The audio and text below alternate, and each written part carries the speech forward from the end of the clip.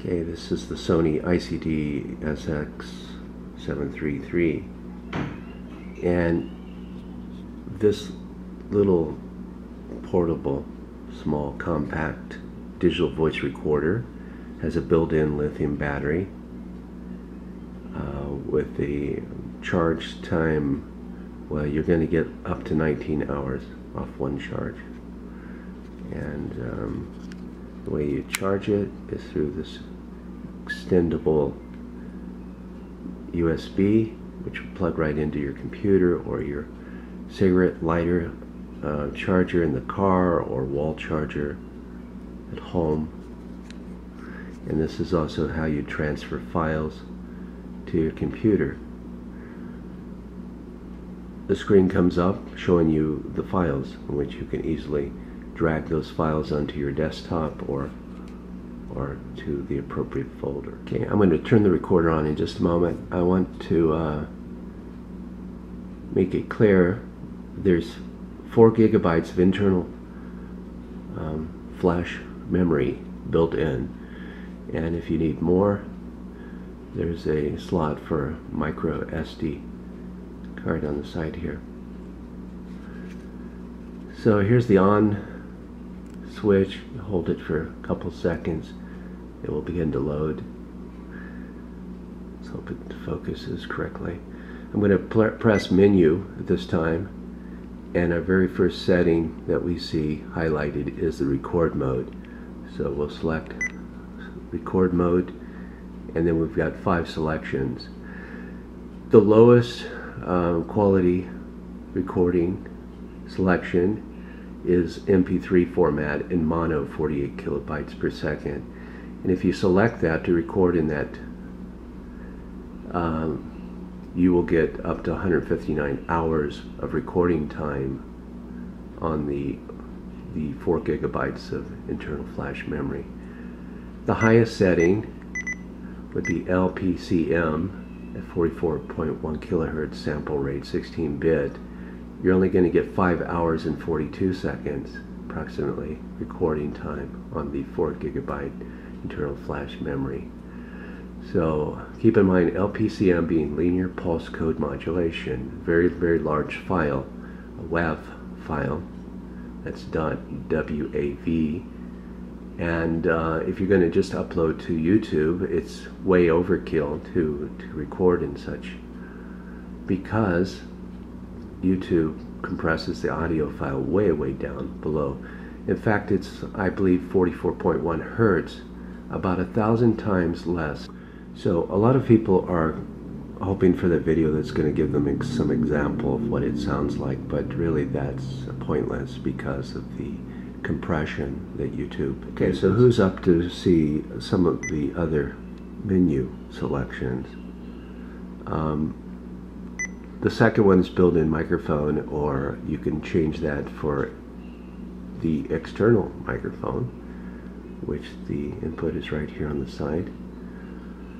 And there's also for the for hearing the playback over your headphones.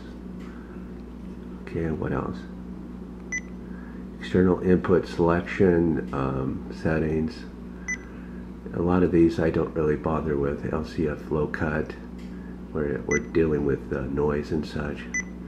Add and overwrite protection pre-record which would be for people that want to ensure that they don't lose that first three seconds or so of a, a recording. It will start recording before it records, however that works.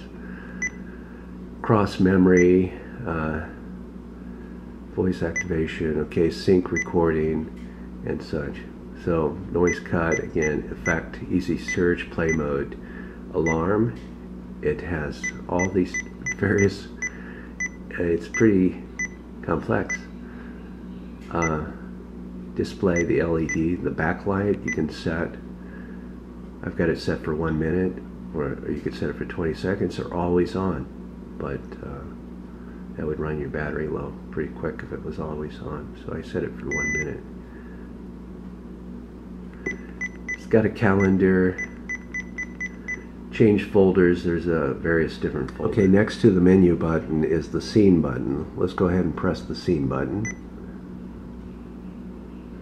and um, you can select personal different scenes. Uh, if you want to record music, you'd want to uh, set it this setting. If you're going to interview someone, this would be the setting. Um, voice notes, if you personal dictation with such like that, uh, this would be the setting. If it's a lecture and you've got uh, the speaker in the distance and you've got uh, people sitting about, you want to uh, sort of uh, set the stereo three element array in such a way like this so that it's picking up mostly the speaker and not so much the noise in, in, the room. And then next to the scene button is the folder button. And you have, yeah, you have up to five folders. Okay, so let's say I record something. I'm going to press the record button and immediately it begins to record and you see the time in seconds and then minutes and hours and left and right stereo and oh I'm set for MP3 I thought I had uh, put it on the higher.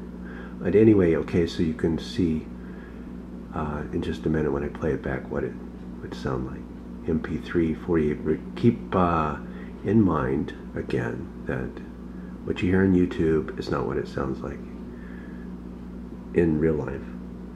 Okay so we're going to press the stop button and uh, to play back what I just recorded. The file is already highlighted right there immediately, and you just press the center button here. And immediately it begins to record, and you see the time seconds, and then minutes and hours. And left and right stereo. And oh, I'm set for MP3. I thought I had uh, put it on the higher but anyway, okay, so you can see uh, in just a minute when I play it back what it would sound like.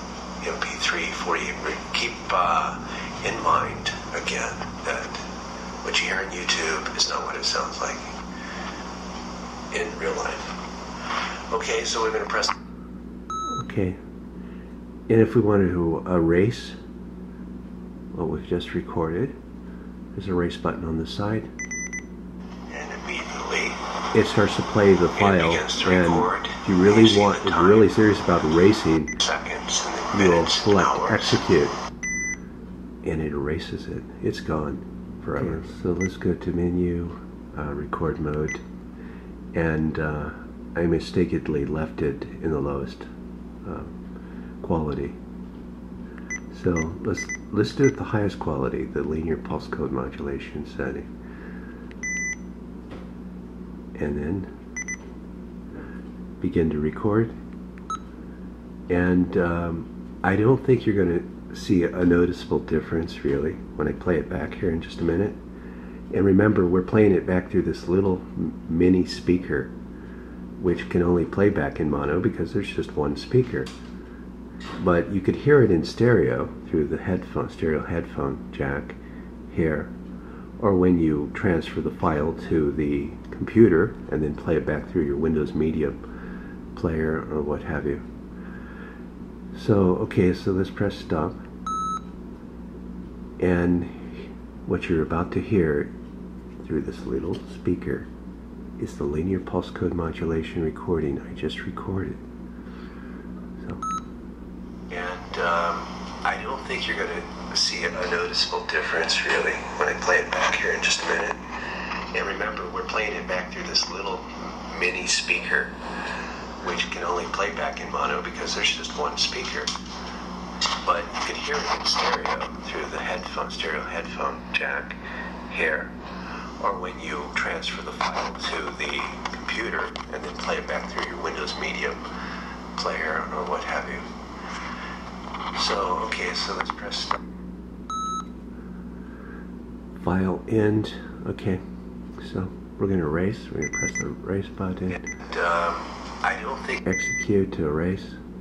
Gone. So keep in mind, you heard some noises because what I was doing was moving the recorder around as it was recording, and of course that's going to that's one of the uh, the bad things about these portable recorders is that of course you have them in hand as you're recording and any little hand movement can cause uh, some unwanted noise and stuff such so what else can I tell you? Um, you see the plug-in power? You can charge the battery here or external power I believe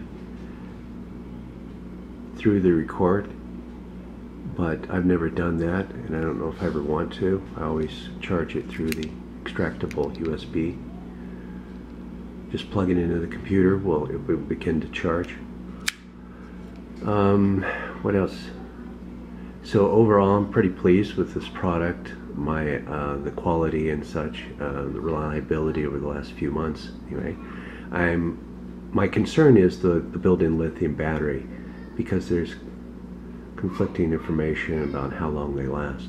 You know, before you'd have to send this in to have them, you know, replace it. There's no way to get in there to replace the lithium battery yourself.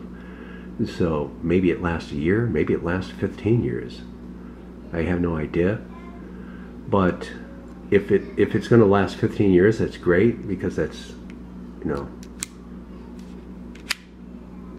a lot of savings not having to buy little AAA batteries and such. And what else? Very reliable little digital voice recorder by Sony, the ICD SX733. And uh, I'll leave you with that.